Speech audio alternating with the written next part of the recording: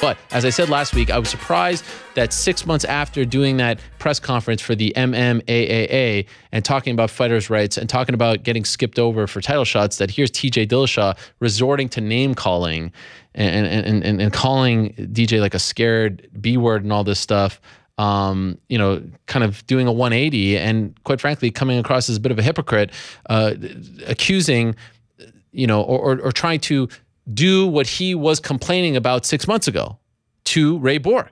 Ray Borg is the guy that Demetrious Johnson was offered. Ray Borg is the one who Demetrious Johnson accepted the fight against. And then Cody Garbrandt gets injured and TJ offers up his services to fight Demetrious Johnson. The UFC likes this fight more for various reasons, as has been spelt out, and they try to switch it. And, and DJ says, thanks, but no thanks. And this has been essentially been the rift between both the UFC and Demetrious Johnson. So um, I wanted to talk to Ray Borg and get his side of things because he's kind of the you know, the third man, maybe even the fourth, if you want to count the UFC as a man. You got DJ, you got the UFC, you've got TJ, and then you've got Ray Borg, and see what's on his mind as we all try to figure out what's going on here. We talk about TJ cutting weight and being, you know, sort of in limbo here. Well, the same the same is is very true for Ray Borg. So let's find out. Let's go to the Skype machine now and welcome in top flyweight contender Ray Borg, who is joining us for the first time on the program. Ray, how are you?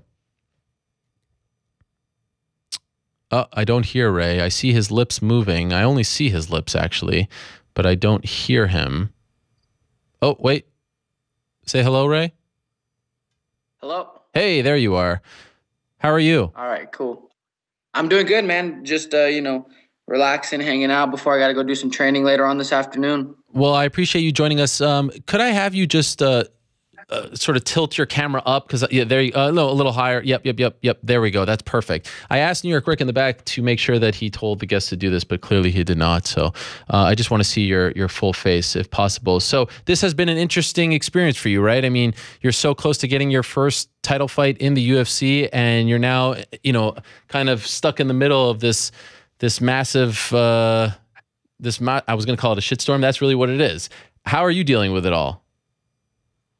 You know, it kind of has become a you know a little bit of a, a shit storm. You know, it uh it, it it changed gears real quickly. It went from like everyone, you know, me and TJ and Demetrious all bickering back and forth over who's gonna fight who to now it completely switched gears to to Dana and Demetrious beefing it out and kind of it's kind of like okay now i have to take a couple steps back and let their let them do their thing and sort out their issues before i you know can have any say so on what goes on next. So let me get your timeline here because we talked to demetrious last week on the show. You may have heard it. Um, were you actually you or your management formally offered a title fight against demetrious johnson on august 19th um i don't know how formally you can call it. Like it was never to the point where we were gonna like be receiving a bout agreement within the next couple days. I mean, it was more of a, you know, we're probably gonna fight Demetrious. It's been talked about. You know, he's uh his name came up. We want we want the title shot. So let's you know we're we're gonna push for that. And it it looked like it was gonna happen. And then as soon as uh you know TJ and Cody fell apart, then the, all the plans fell apart. So you know it's more of just kind of been on a been more on the the end of the stick as far as communication. For for me at least you know i you know i've just kind of been trying to get ready the best i can just in case it does happen because you know time's time's ticking and you know time's closing down on the the august 19th date which is when i assumed that it was going to happen because that's when i you know i had heard that they're going to seattle. So it's been more of a, a verbal agreement on my end. One of the things so I, i'm i'm in the the camp of you versus DJ makes more sense for the future of the division, for the current uh, health of the division. You know, if TJ wins, you might blow things up, et cetera, et cetera. Um, and I've said that I don't believe that TJ versus DJ sells that much more pay per views than you versus DJ. Do do you agree with me here? I know this is a tough one because you're involved, but do you think that if you know promoted correctly, you versus DJ can do just as well as Demetrious Johnson versus TJ Dillashaw? Yeah, you know, I I think that could uh, I think we could sell just as you know just as well as TJ. The only reason why it's it seems so interesting to the fans is is because TJ is a is a former champion. You know, he's he's got the beef going on with with Cody, so that's kind of accelerated his name a little bit. But TJ was barely becoming a draw when until he fought Dominick. I mean, he was he was a draw. He wasn't much of a draw at all. No one even thought he deserved the title shot against Barao the first time. He was coming off of a loss to Assunção and then one win. And some people didn't feel like he deserved the title shot. He went in there, you know, he performed, you know, excellent and won the belt. And then after that, people are like, okay, I like TJ. TJ's, you know, I'm going to start tuning in. But I don't feel it was really until the whole Cody thing that people were going to really start tuning in to watch TJ. So I feel, you know, if if if it's going to be a, a difference in numbers, it's not going to be that big of a difference between me and DJ. I mean, I feel like I can sell the fight just as well as TJ can. I mean, I'm not corny. I'm not cheesy. I mean, if I'm gonna talk some shit, I'm gonna talk some shit. I mean, it's gonna be real shit. Right. It's not gonna. It's not gonna be this. You know, this jabroni. I'm gonna punch you in the face type stuff. You know, I'm. I'm gonna. I'm gonna call it how I see it. Do you do you have uh, a newfound respect for Demetrious Johnson? Because he, I mean, I, I know it's not like a personal thing between you and him, but he is going to bat for you essentially. Like the, the the issue is here, he thinks that you deserve it more because you're the top guy in the division. How do you feel about you know what he's saying towards you and and about you? You know, I um I I I I, I walk real lightly in in this game. It's you know, even in life, you know, I the the way I grew up and the the background I came from, trust is a big thing. So I don't really trust anybody until I truly know them and I know who they are. I don't know who DJ is. So although DJ is giving me this respect and saying he wants to fight me because of the rankings and he feels like I deserve it, you know, that's great. But at the end of the day, I also have to switch gears and, you know, throw up my defensive mode and ask myself, is DJ really respecting me or is he trying to use me as a pawn and a negotiation tactic to get the type of money he wants for TJ? Huh. So that flows through my mind as well too. So until, you know, until I see something in paper that, you know, hey, DJ really does want to fight you because he feels like you've earned it and we're about to sign a fight between you two, then until then I'm just kind of, you know, uh, I, I, I separate my mind to to really bank on things. Huh. You know, I'm not banking that he really wants to fight me because from what I heard, you know, he wanted to fight me, and then I heard another article where he asked to fight Sergio instead because Sergio has a his brother's name behind him, so he's more marketable. So I don't know. I it's it's kind of a weird situation. I will tell you, I gained respect from DJ the way he talked about his legacy. You know, um, what goes outside goes on outside the octagon is what I'm more I respect people more on how people present themselves outside the octagon, how they are. And you know, his his respect towards his kids and his family and that being his legacy, you know, I gained a lot of respect for him because of that. What do you say to people who say uh, you're only on a two fight winning streak? You've won five of six, but you did lose three fights ago and you've missed weight a couple times during that stretch. So maybe you need to do more to get this title shot. What do you say in return? Um, I mean, the only thing I can say is that you know TJ's only on a two-fight winning streak, regardless if he was the champ. I mean, he arguably defended his belt once. I mean, it's really hard to call the Joe Soto fight a true title defense when Joe Soto took the fight on 24 hours notice and it was his debut. So in my eyes, Barao was really the the the only clear title defense that he had, and he's only won two fights since then. And as far as the weight issues, I actually don't mind when people, you know, bag on me and talk shit saying I missed weight only because if it was if it was something that was like I was just being irresponsible and eating like shit all the time and not wanting to cut weight, then I would, you know, then it would be different. But really, my weight situations was just me being so young. I mean, hell, I'm only 23, and I just didn't have the knowledge to cut weight. I mean, I I tried to cut weight the way I did when I was like 18 years old, and my body just doesn't cut weight that fast anymore. So I had to just learn how to properly do it. You know, I hired a nutritionist, uh, perfecting athletes who work with some of the top athletes in the UFC, like Owani and Jacek, and I even believe they worked with Dillashaw.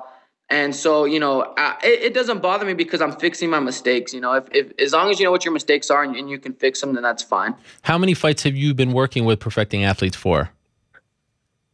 Um, I uh, when I fought Formiga was actually my first one, and you know it, that was by far my easiest weight cut. I mean, I'm not gonna lie, it was weird at first because I even called my wife and told her like, "Hey, I think I might miss weight again," and she's like, "Why? You were so low going into Brazil." I was like, "I know, but I'm eating French toast and all kinds of delicious food on fight week. Fight week's supposed to be miserable." And then she's and then I talked to my my nutritionist, she's like, "Don't worry, Ray. Everyone always freaks out, but it, it made for the easiest cut I've had, you know, wow. in you know since I've been in the UFC." Wow, I've actually gone to know uh, Paulina, who's a part of Perfecting Athletes, quite well, and uh, it seems like everyone glows about you know what what they do and how easy the weight cuts are when working with them. So that's another uh, you know nice. Uh, compliment going their way. So, all right. So, so you have this situation where you know you're kind of in limbo as well because um, you know we keep we keep being told that uh, TJ's waking up at 143 and he's starting his cut. How much do you weigh right now? And and do you like if you were fighting August 19th, would you start to eat differently, diet differently if you were fighting in what a little over two months' time? Yeah, you know, I mean, if TJ's waking up at 143 right now, then he is actually a smaller bantamweight than I than I thought. Uh-huh. Because I mean, I walk around, I, you know, when I'm in good shape, walking around like and, you know a good tone leaned out, I'm like 146. Oh wow! So if he's wake if he's waking up at and 146 is easy easy, easy for me. I've done I've done a weight cut when I fought Chris Kelades. I started my weight cut at 156. Wow. So I mean, and I made weight for that fight. I mean, so but I've I've learned to walk around lighter to make those weight cuts easy. I've been going into fight week. Oh, I went into fight week against Formiga lighter than I five pounds lighter than I ever have before. So you know, my it's making an easy weight cut, but it, it is the same thing. And I, I actually feel for TJ because I'm used to coming down from this weight to 25. I'm used to it and I and I have the room to do it. But the more time I have, the better it is. But I also feel for TJ in the sense that if he's gonna get the title shot, you know, he should probably know sooner than I do just because this, this dude's never been down to 25. So if he's gonna make a crack at it, I imagine he's gonna have to change his whole physique just to do it. And you know, that's gonna be painful in a time, you know, uh, it's going to be painful to do in a short, timely matter. Um, one thing that's come up is, you know, DJ saying that they threatened to shut down the division. Are you worried that this is going to happen? This would affect you and many others. Yeah, you know, if if, if this is the case and it, it they do want to shut the flyweight division down, what sucks is we're all being punished for for DJ. I mean, yeah, DJ. I believe DJ is one of the best fighters in the world. You know, I've been watching DJ since I was like 14 years old. But you know, he's just not a draw. I don't know why. I mean, I can't tell you why. He's a great guy, but I can't tell you why he's a draw. And if the UFC is so stuck on the flyweights never selling because of DJ, it just leaves us in a weird spot. Because I believe we can sell. I mean, I believe the flyweight division's more exciting now than it has been in years. I mean, the whole top 10 is switching up. Uh, Ben Nguyen just got a huge win, you know, the other day. It's going to be all new faces. You know, one of us can easily start to sell the division, and to be punished because DJ's been the face of it for so long, and he doesn't want to, you know, do what Dana wants to do. It, it sucks, you know. It, it, it. I try not to think about it. I try to just stay positive and move forward, and you know, hope for hope for the best. But you know, in the end, it is something you kind of have to worry about because I mean, there's so many people pretty much going to be unemployed. You know, we're getting pretty much laid off. You know. Uh, what would you, if you became champion? How would you sell the flyweights? Like, why do you think that you could be a bigger draw than DJ? I mean, I'm exciting. You know, I um. So is he. I've shown in fights before. Right. Uh, yeah, yeah. I've shown I've shown in fights before that I'm not scared to go for it. But more than anything, I. I feel fans fans need some real some some they need to be real or uh, uh, a, a champion needs to be real. They can't be talking shit on you know on the mic and then go home and be a totally different person. Like once the fans find out that you're fake is when i feel like you lose like so for example Jon jones. Jon jones i feel lost a lot of fans because he presented himself as this great guy and then he got in all the trouble and people like well he's supposed to be this christian man. He, you know he's not quite the great guy i don't know if i want to be fans of him because he's not he's not even real It's might as well be wwe and so I feel like if he would have approached it and embraced his inner crazy to begin with, you know, who knows? Maybe he would have liked it. People like Conor, and yeah. he may not be doing out bad stuff in the you know in the media, but he's you know he says some mean and funny shit. But right. I mean, I feel like I would just be real. You know, I would I I can talk some shit. I mean, but I'm only gonna talk shit if it comes out of me. You know, I'm not gonna go up and be like, "Hey, you suck, stupid." Yeah, like something stupid like that. I'm not gonna cause the ruckus, but when it comes down to me being pushed up against the wall, if someone's trying to bully me, I don't get bullied, and I, you know, that's when I come out of my shell. And I think just being real would help sell the flyweight division. I think a lot of those guys need to just be real because a lot of these guys they don't want to they they want to keep that persona of a respectful fighter, which is great. So sometimes when someone's talking shit to them, they kind of ease back because they just got to be respectful. they're trying too hard to be respectful. But I know every fighter in this division, much less in the sport, has some ill feelings towards their opponent some way or another. Because on fight night, that person's trying to steal the other half of your check. You know, that's money for your family. So everyone feels some type of way towards their opponent. They just don't ever show it. Mm.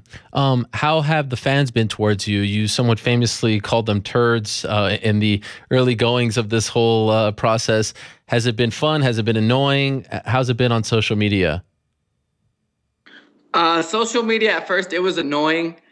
it, I got really upset that people were trolling me, but then I kind of just was sitting here like super bored, didn't have anything to do during training, so I was like, you know what? I know how to troll people. I'm going to start trolling these guys. So I started trolling so many Twitter fans, and a lot of the stuff was funny. I kind of got stumped a couple times, but it's all in good fun. I don't mind it. I have thick skin. I mean, if someone's going to talk crap about me, like for example, some guy made fun of me for having glasses, and then he ended up having wearing glasses, and I oh, call oh, him God. four eyes. I mean, it's just, it's just, it's just all in good fun. You know, I don't mind if I don't mind people taking swings at me. I got thick skin. I mean, if you don't have thick skin in the sport, you might as well not be in it. So it's just been back and forth. I kind of like playing with the fans and trolling them as well. So where do things stand right now? I mean, as you sit here and talk to us, do you have any idea what's going to happen with this? You know what, man? I don't know. And to be truly honest, because I'm I'm I'm only 23, dude. And yeah. if I don't get a title shot now, I'm not gonna bitch and cry about it. I mean, hell, I got so much.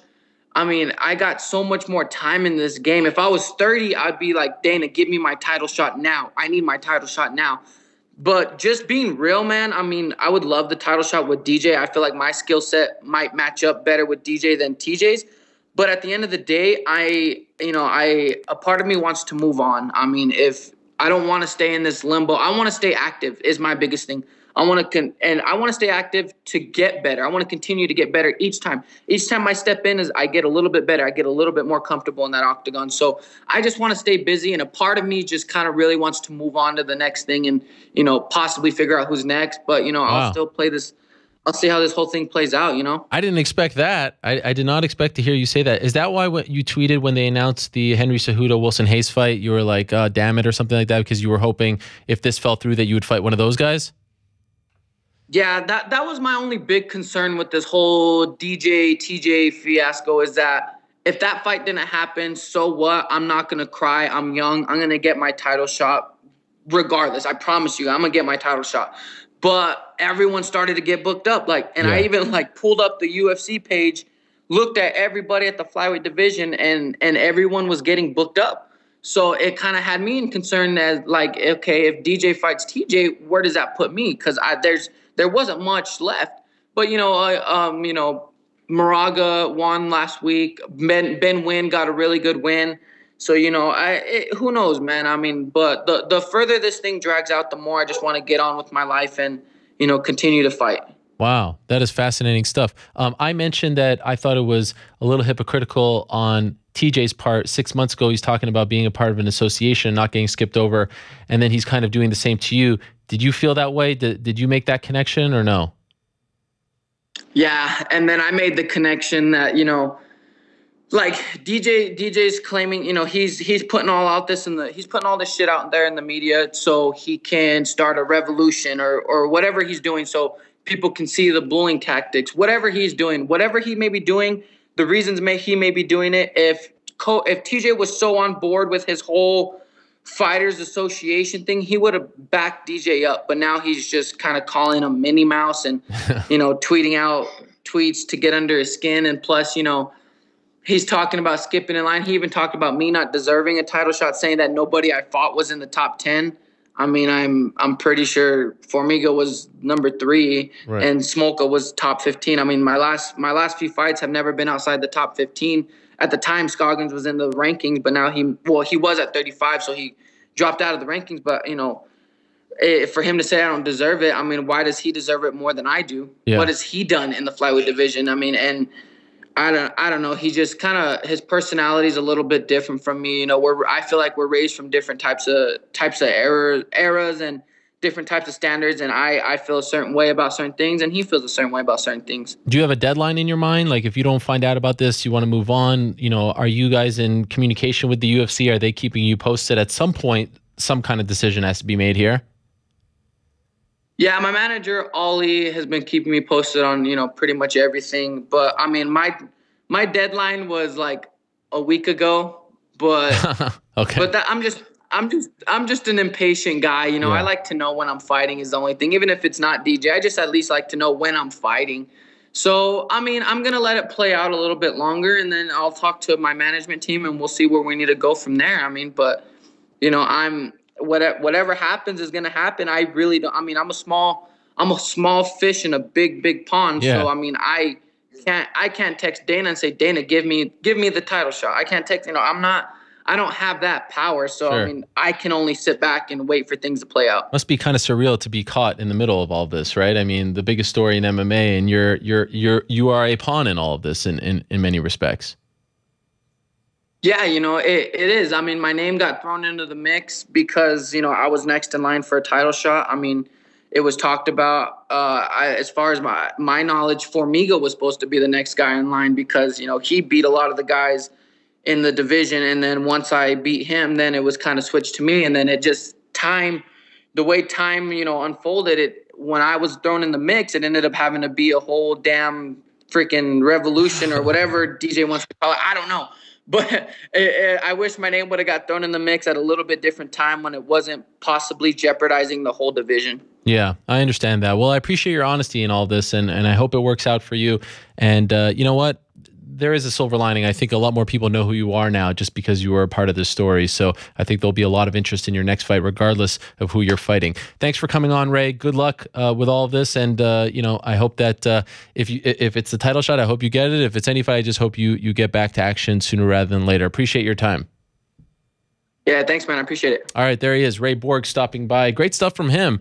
Uh, really honest stuff. And to be honest, I, I, I didn't I didn't expect him to say you know, that he kind of wants to move on at this point.